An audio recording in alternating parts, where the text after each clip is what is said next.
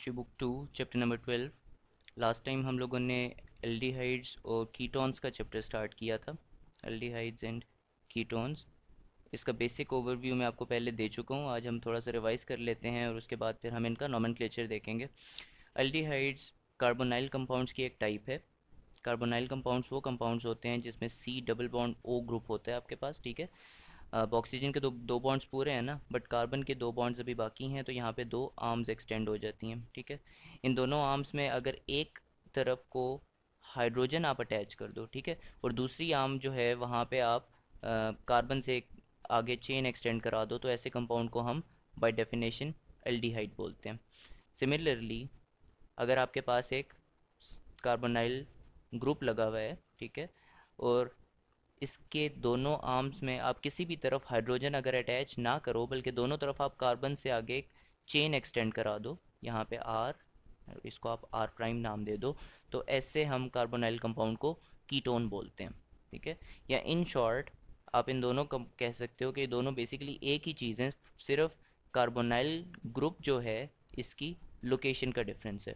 अगर carbonyl group आपके पास corner या एंड के ऊपर लगा हुआ हो तो उसको हम अल्डिहाइड बोल देते हैं। और अगर ये मिड में कहीं पे लगा हुआ हो दरमियान में दोनों तरफ़ इसके कार्बन हों तो फिर हम इसको कीटोन बोल देते हैं।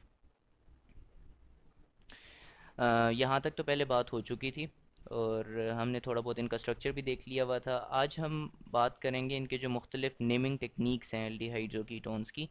आ, सबसे पहले तो इनके हम कॉमन नेम्स देख लेते हैं दोनों के कॉमन नेम्स अल्डीहाइड्स जो हैं, इनके जो कॉमन नेम्स हैं, ये इनके करस्पॉन्डिंग एसिड्स से डिराइव होते हैं, ठीक है? और एसिड्स से जिस तरीके से हमने एसिड्स को नाम दिया हुआ होता है इसी तरीके से हम करस्पॉन्डिंग अल्डीहाइड्स को नाम दे देते हैं। फॉर एग्ज़ाम्पल आपके पास एक एसिड है फॉर्मिक एसिड फॉर्मिक एसिड जिसका फार्मूला क्या होता है? फॉर्मिक एसिड फॉर्मलिन ये आपके पास यूँ चीज़ है C H H double bond O. ठीक है? ये ठीक बनाया मैंने? नो ये ठीक नहीं बनाया मैंने। एसिड्स के अंदर आपको पता है कि सी डबल ओ एच होता है। ठीक है? और आपको पता है सी डबल ओ एच का स्ट्रक्चर कैसे होता है? सी डबल बॉन्ड ओ और फिर एक ओ एच तो कार्बन के कितने बॉन्ड्स अभी बाकी रह गए हैं? एक रह गया ना तो यहाँ पे अगर आप एक हाइड्रोजन लगा दो। ये जो अब मैंने बनाया ना, ये ठीक स्ट्रक्चर है। ये वाला। सो so, ये जो स्ट्रक्चर मैंने बनाया है ये आपके पास फॉर्मिक एसिड है। और ये जो राइट right साइड पे मैंने बना दिया है ये बेसिकली आपके पास फॉर्मल्डिहाइड है। फॉर्मल्डिहाइड आप आइडेंटिफाई कर सकते हो ना कि इसके अंदर सी ओ एच जो लगा हुआ है एक कॉर्नर के ऊपर लगा हुआ है सी ओ एच और उसके साथ एक तरफ़ को एच लगा हुआ है ठीक? वी कॉल इट फॉर्मल्डिहाइड क्योंकि ये फॉर्मिक एसिड से डिराइव हुआ है। फॉर्मिक एसिड को फॉर्मिक एसिड ही क्यों कहा जाता है? ये भी आप क्वेश्चन रेज कर सकते हो। फॉर्मिक बेसिकली जो वर्ड है, ये फॉर्मिका से निकला। फॉर्मिका जो कि लेटिन लैंग्वेज के अंदर आप एंट को या आप बोलते हो च्यूंटी को, ठीक है? और सबसे पहले जब ये एसिड पाया गया था तो ये च्यूंटियों के अंदर पाया गया था तो इस वजह से इसको फॉर्मिक एसिड कह दिया गया था। और फिर उसी की वजह से फिर इससे करस्पॉन्डिंग जो अल्डिहाइड बनता है, उसको हम लोगों ने फॉर्मल्डिहाइड कह दिया। इसी तरीके से आपके पास एसिटिक एसिड है। एसिटिक एसिड एसिटिक एसिड का formula C H three C double H ठीक है? एसिड्स को आप हमेशा सी डबल एच से आइडेंटिफाई करते हो। और एसिटिल्डिहाइड अगेन आपके पास क्या चीज़ होनी चाहिए? इसके सी ओ एच अटैच्ड होगा। सी डबल ओ एच नहीं होगा इसमें, ठीक है? सी ओ एच हो गया और पीछे आपके पास सी एच थ्री ही लगा हुआ है। C H three C O H इसको अगर आप एक्सपेंड करके बनाओ तो ये कुछ ऐसे होगा। सी के साथ तीन हाइड्रोजन्स ठीक है? और फिर साथ एक carbon double bonded with oxygen और फिर एक हाइड्रोजन तो आप देख सकते हो कि सी ओ एच कॉर्नर के ऊपर आ रहा है और हमने कहा था कि जब सी ओ एच कॉर्नर के ऊपर आ रहा हो तो ये एक अल्डीहाइड होता है, ठीक है? सो यहाँ पे आप आइडेंटिफाई कर सकते हो कि ये एक अल्डीहाइड है और इसको हम एसिटल्डिहाइड कहते हैं क्योंकि ये एसिटिक एसिड से डिराइव हुआ है। इसी तरीके से आपके पास मुख्तलिफ़ मज़ीद एसिड्स हैं जिनके नामों के साथ से आप करस्पॉन्डिंग अल्डिहाइड्स डिराइव करते हो। अब हम देख लेते हैं कि अगर आपके पास यही जैसे हमने ऊपर बात की कि एसिटल्डिहाइड आप बना लेते हो C H three H H H और साथ सी डबल ओ एच ये आपके पास एसिटल्डिहाइड है। लेट से आपके पास यहाँ पे कार्बन की एक लोकेशन के ऊपर, यहाँ से आप एच हटा दो और यहाँ पे आप कोई और चीज़ लगा दो। फॉर एग्ज़ाम्पल आप यहाँ पे लगा दो सी एल ठीक है? तो अब आप इसको कैसे नाम दोगे? अगर आप कॉमन नाम इसको दे रहे हो तो आप इसको कैसे दोगे? तो उसके लिए आपको फिर लोकेशन आइडेंटिफाई करनी पड़ती थी ना? अगर आप इसको कोई कार्बन वन टू इस तरीके से नाम देते थे, लेकिन वो तो आई में देते थे नॉमेनक्लेचर में। इसमें आप क्या करते हो कि जो आपके पास सी डबल बॉन्ड ओ या जो कार्बोनाइल वाला कार्बन होता है, उसके बिल्कुल साथ वाले कार्बन को आप अल्फ़ा कार्बन कह देते हो। ठीक है? अल्फ़ा कार्बन ठीक है? और अगर इससे आगे भी ये चेन एक्सटेंड हो रही होती तो फिर ये beta gamma and then delta ये इसकी पूरा आप सीक्वेंस फॉलो करते हो। फॉर एग्जांपल आपके पास carbon carbon carbon carbon carbon carbon और यहाँ पे सी डबल ओ एच लगा हुआ है आपके पास। C double bond O H लगा हुआ है। तो आप फिर इसको अल्फ़ा कार्बन बोलोगे, इसको आप बीटा कार्बन बोलोगे, इसको आप गैमा कार्बन बोलोगे और इसको आप डेल्टा कार्बन बोलोगे, ठीक है? और ये जो अगेन सिस्टम है, ये तमाम के तमाम जो आपके पास एल्डिहाइड्स हैं, उनको नाम देने के लिए काफ़ी नहीं है, इसलिए हम लोगों ने आई यू सिस्टम जो है वो बना हुआ है। तो हम एक एग्जांपल देख लेते हैं। फॉर एग्जांपल आपके पास यहाँ पे एक बी आर ग्रुप लगा हुआ है। तो अब इसको आप कैसे नाम दोगे? सबसे पहले तो आप ये देखोगे कि इसमें कितने आपके पास कार्बन आइटम्स हैं। One two three four five six seven ठीक है? तो सेवन के साथ हेक्सेन नाम होता है ना? अगर ये सिंपली एक अल्केन होता तो आप इसको हेक्सेन कहते। ये बेसिकली एक हेक्सेनल्डिहाइड है। हेक्सेनल्डिहाइड एंड साथ इसमें गैमा लोकेशन के ऊपर एक ब्रोमो ग्रुप लिखा हुआ ठीक है? तो आप इसको बोलोगे गैमा ब्रोमो हेक्सेनल्डिहाइड ठीक है? ये इसका कॉमन नेम हो गया। इसके बाद हम बात कर लेते हैं कीटोन्स की। कीटोन्स के भी कॉमन नेम्स होते हैं, जिस तरह एल्डिहाइड्स के कॉमन नेम्स हैं। कीटोन्स में आप कैसे नाम देते हो? कि फॉर एग्जांपल आपके पास C double bond O and साथ आपके यहाँ पे एक चेन लगी हुई है, इसको आप चेन वन कह लो आर वन और यहाँ पे एक और चेन लगी हुई है आर टू तो आप सबसे पहले इस चेन का नाम देते हो, फिर इस चेन का नाम देते हो, और आगे कीटोन लिख देते हो ठीक है? बहुत ही सिंपल सा ये तरीका है। फॉर एग्जांपल आपके पास सी डबल बॉन्ड ओ यहाँ पे आपके पास एक तीन कार्बन्स की चेन एक्सटेंड हो रही है। तीन कार्बन्स की और राइट साइड पे दो कार्बन्स की चेन एक्सटेंड हो रही है ठीक है? बाकी सारे हाइड्रोजन्स लगे हुए हैं वो अंडरस्टूड है कि हाइड्रोजन्स ही होते हैं बाकी। तो आप इसको नाम कैसे दो, दोगे? आप बोलोगे ये कौन सी चेन है? ये आपके पास एक प्रोपाइल चेन है क्योंकि तीन कार्बन्स की चेन है प्रोपाइल चेन और ये आपके पास राइट साइड पे कौन सी चेन है? इथाइल चेन लगी हुई है, या ethyl chain so you would call it propyl ethyl ketone ठीक है? प्रोपाइल एथाइल कीटोन या आप इसको अल्फ़ाबेटिकली लिखोगे, ठीक है? क्योंकि ई e पहले आता है तो आप इसको एथाइल प्रोपाइल कीटोन बोलोगे, ठीक है? ये यूँ आएगा और ये बाद में आएगा।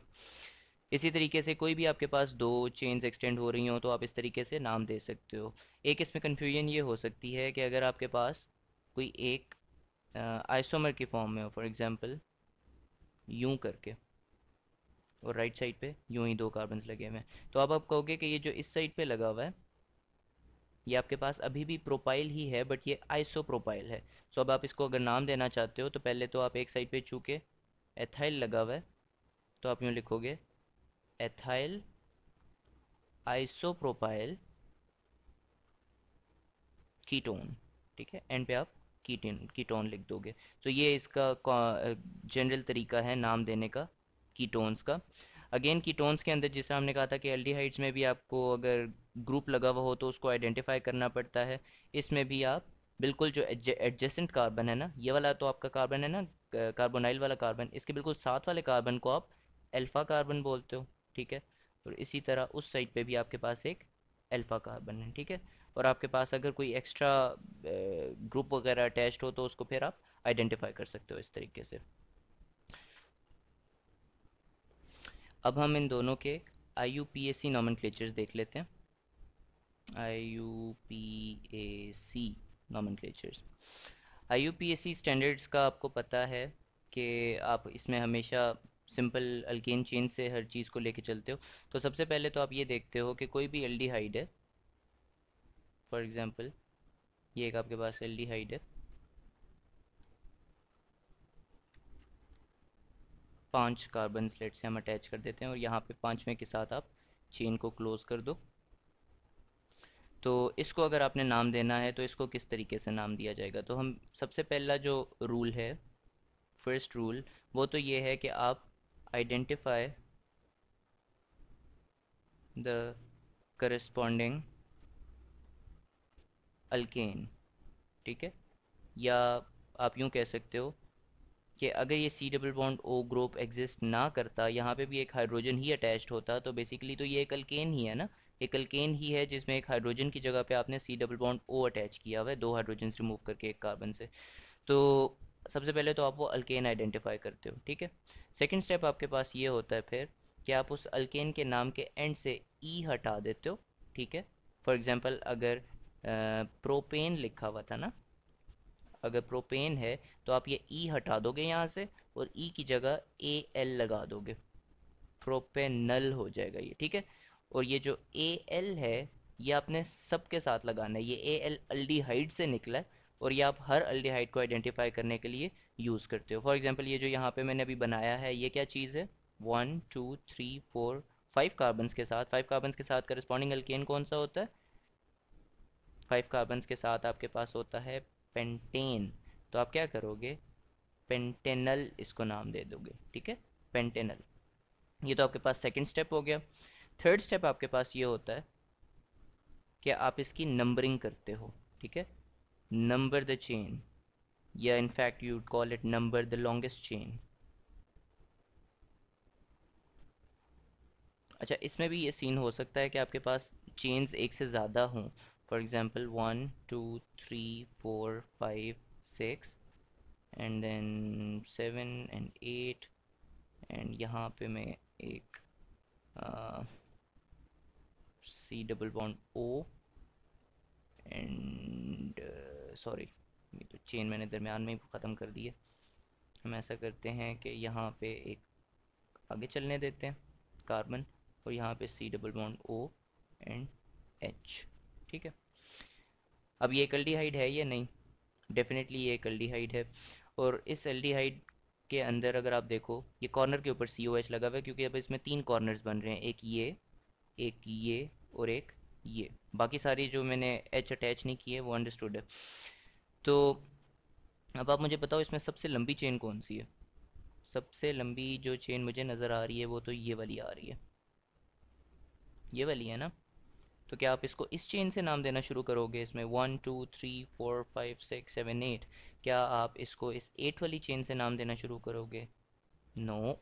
इसके लिए जो ये मैंने फ़र्स्ट आपको कहा है ना आइडेंटिफाई द करस्पॉन्डिंग अल्केन इसके साथ आप ऐड कर दो कंटेनिंग कार्बोनाइल ग्रुप क्योंकि कार्बोनाइल ग्रुप अगर उसमें नहीं है तो फिर तो सेंस ही नहीं बनती ना। कार्बोनाइल ग्रुप के साथ सबसे लंबी चेन आप लोगे, ठीक है? सो वो इस केस में कौन सी चेन बन रही है? वो आपके पास ये वाली चेन बन रही है, जो मैं रेड डॉट से अभी आइडेंटिफाई कर रहा हूँ। ऑल इसके अंदर आठ नहीं है, सात कार्बन आइटम्स हैं सो आप इस वाली चेन को कंसिडर करोगे। और ये वाली चेन आपके पास सेवन कार्बन के साथ हेप्टेन है। ठीक है? हेप्टेन तो आप क्या करोगे कि इसको हेप्टेनल बोल दोगे?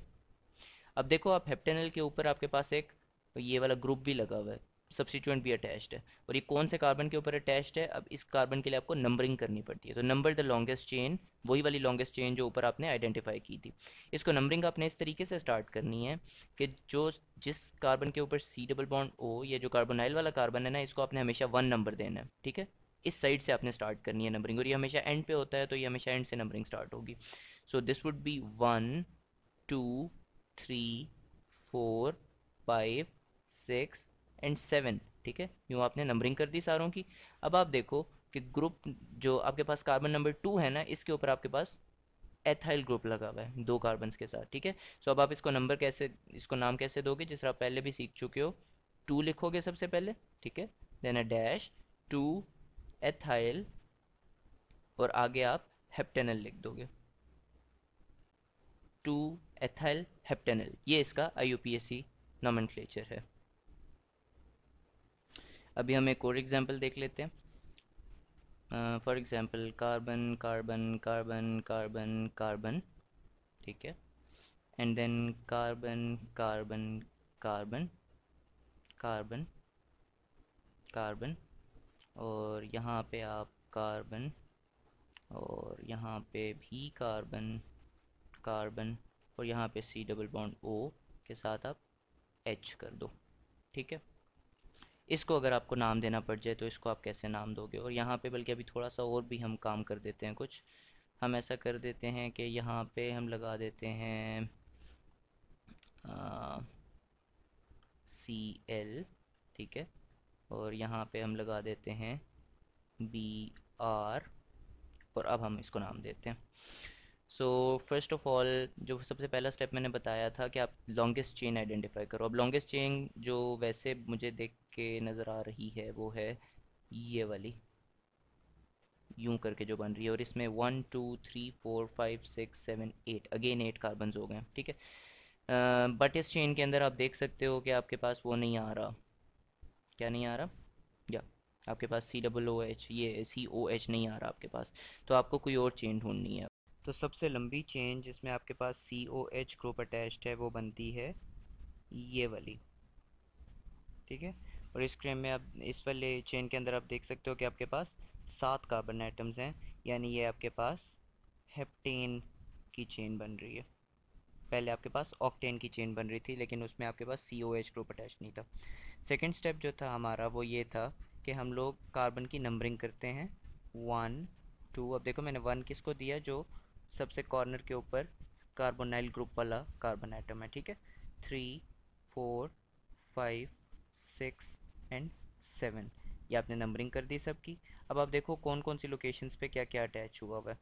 सबसे पहले जो ये एक चीज़ है, दो कार्बन यानी एक एथाइल ग्रुप अटैच्ड है। एथाइल एट फोर लोकेशन ठीक है? इसके अलावा क्या क्या चीज़ें अटैच्ड हैं? क्लोरो ग्रुप एक अटैच्ड है। क्लोरो ग्रुप अटैच्ड है एट लोकेशन फाइव इसके अलावा एट लोकेशन सेवन आपके पास एक ब्रोमो ग्रुप अटैच्ड है। ब्रोमो एट सेवन और एट लोकेशन थ्री आप देख सकते हो कि आपके पास एक, ये एक पूरी चीज़ अटैच्ड है, जो कि क्या चीज़ है? एक ब्यूटेन है। चार कार्बो ब्यूटाइल ग्रुप है, लेकिन ये आइसोमेर है ब्यूटाइल का मतलब एक एन ब्यूटाइल नहीं है बल्कि आइसो ब्यूटाइल है। तो आइसो ब्यूटाइल आपके पास लोकेशन थ्री के ऊपर अटैच्ड है ठीक है? अब हम लोगों ने इस पूरे कंपाउंड को नाम देना है। तो सबसे पहले तो हम क्या लिखेंगे? आ, ये जो आपके पास फंक्शनल ग्रुप्स हैं इन सबको आप नंबर देना शुरू करोगे जिस तरह आपने पहले सीख चुके हो कि आप अल्फ़ाबेटिकली स्टार्ट करते हो ठीक है? तो सबसे पहले आप लिखोगे ब्रोमो ग्रुप का मेंशन करोगे आप लिखोगे सेवन सेवन ब्रोमो, ठीक है? सेवन ब्रोमो के बाद फिर आप क्या लिखोगे? बी के बाद सी आता है, फिर आप फाइव क्लोरो मेंशन करोगे फाइव इन सब के दरमियान डैश डैश आता जाएगा फाइव क्लोरो ठीक है? उसके बाद फिर आप ई e आता है, उसके बाद फिर आप फोर लोकेशन पे एथाइल लगा हुआ है फोर एथाइल ठीक है? उसके बाद थ्री के ऊपर आइसोब्यूटाइल लगा हुआ है। Three isobutyl and then finally आप इस कंपाउंड का नाम लिखोगे, जो कि क्या है? हेप्टेन और आगे ई e को आपने हटा के ए एल हेप्टेनल लगाना है आगे, ठीक है? सो ये आपका कंपाउंड का पूरा जो नाम हेप्टेनल ठीक है? ये आपका पूरा नाम हो गया। Seven bromo five chloro four ethyl three isobutyl heptanal ठीक हो गया? अब हम देख लेते हैं कि अगर आपने कीटोन्स का नॉमन अगर आई के पॉइंट ऑफ़ व्यू से कीटोन्स को कैसे नाम देना है आपने? सबसे पहले जो बेसिक चीज़ है वो कीटोन्स और एल्डिहाइड्स की कॉमन है कि सबसे पहले तो आपने आइडेंटिफाई करना है कि कौन सा करस्पॉन्डिंग अल्केन है। फॉर एग्जांपल अगर यूँ करके आपका एक कीटोन है, जिसके एक तरफ़ मेथाइल और एक तरफ़ एथाइल लगा हुआ है कार्बोनाइल के दोनों तरफ़ तो सबसे पहले तो आप देखो total number of carbon atoms कितने हैं? चार है ना? तो ये आपके पास बेसिकली एक ब्यूटेन था। तो आपने क्या करना है कि एंड से ई e हटा देना जिस तरह उसमें आपने ई हटाया कि ए एल लगाया था ना, इसमें आपने ओ एन ई लगा देना ठीक है? ये आपके पास क्या चीज़ है बेसिकली ब्यूटेनोन ब्यूटेनोन ठीक है? और फिर आप क्या करोगे कि फिर आप इसमें जिस लोकेशन के ऊपर सी डबल बॉन्ड ओ लगा हुआ है ना, वो लोकेशन आइडेंटिफाई करोगे। और लोकेशन आप कैसे आइडेंटिफाई करोगे? लोकेशन आप नंबरिंग करके आइडेंटिफाई करोगे। और इसको आप क्या नंबर दोगे? इस वाले कार्बन आइटम को? वन, टू, ठीक है? इसमें आपने नंबरिंग इस तरीके से करनी है, जिस तरह आप वैसे अल्केन्स में अंदर किया करते थे। और आपने ख्याल इस चीज़ का रखना है कि जो आपके पास कार्बोनाइल ग्रुप है, आपने वो जिस साइड से करीब पड़ रहा है ना, उस साइड से आपने नंबरिंग स्टार्ट करनी है। यहाँ पे हम लेफ़्ट साइड पे एक और एग्जांपल देख लेते हैं। सी सी सी सी सी सी और यहाँ पे बीच में मैं यहाँ पे लगा देता हूँ डबल बॉन्ड ओ और यहाँ पे मैं लगा देता हूँ बी आर अब आप देखो कि जो बी आर ग्रुप है वो राइट साइड से करीब पड़ रहा है और सी डबल बॉन्ड ओ जो है वो लेफ़्ट साइड से करीब पड़ रहा है। लेकिन मैंने कहा था कि नंबरिंग आपने लेफ़्ट उस साइड से करनी है जहाँ से कार्बोनाइल आपको करीब पड़ रहा हो। तो आप इसको बोलोगे one two three four five और सिक्स यूँ आप इसकी नंबरिंग करोगे। नंबरिंग कर ली। इसके बाद आप देखोगे कि जो आपका कार्बोनाइल है, वो कौन सी लोकेशन पे लगा हुआ है? और दूसरा ये हेक्सेन है ना तो सबसे पहले तो आप हेक्सेन लिखो ना, और ई e हटा के ओन लगा दो तो हेक्सेनोन हो जाएगा ये, ठीक है? ये कीटोन की वजह से ओ एन ई ओन लगाते हैं हम एंड पे। हेक्सेनोन हो गया, और फिर आप इसमें बताओगे कि किस लोकेशन के ऊपर आपका जो कार्बोनाइल ग्रुप लगा है। चूँकि वो थर्ड लोकेशन पर लिखा, लगा है तो हम इसको बोलेंगे थ्री हेक्सेनोन ठीक है? जैसे हमने यहाँ पे पीछे आपके पास सेकंड लोकेशन पे लगा था तो पीछे हम इसको बोलेंगे टू ब्यूटनोन। तो ये जो आप पीछे एक डैश लगा के ना, आप नंबर आइडेंटिफाई कर देते हो कि किस लोकेशन के ऊपर आपके पास लगा हुआ है कार्बोनाइल ग्रुप सेकेंडली, अब आपको ये साथ ब्रोमो का भी तो बताना है ना, ये आप पीछे लिख के बताओगे, ठीक है? इससे आप पीछे क्या लिखोगे? फोर ब्रोमो थ्री हेक्सेनोन, ठीक है? ये इस कंपाउंड का पूरा नाम है। इसी तरीके से आप ख़ुद भी पर्सनली प्रैक्टिस कर सकते हो, मुख्तलिफ़ कीटोन्स को। नाम देने की। इस नेक्स्ट लेक्चर के अंदर हम बात करेंगे दो एल्डिहाइड्स की। एल्डिहाइड्स की, उनकी हम प्रिपरेशन देखेंगे, जिसमें आपके पास एक फॉर्मल्डिहाइड और एसिटल्डिहाइड शामिल हैं, जो दो बेसिक एल्डिहाइड्स हैं आपके पास। हम इनकी लेबोरेटरी और इंडस्ट्रियल प्रिपरेशन देखेंगे।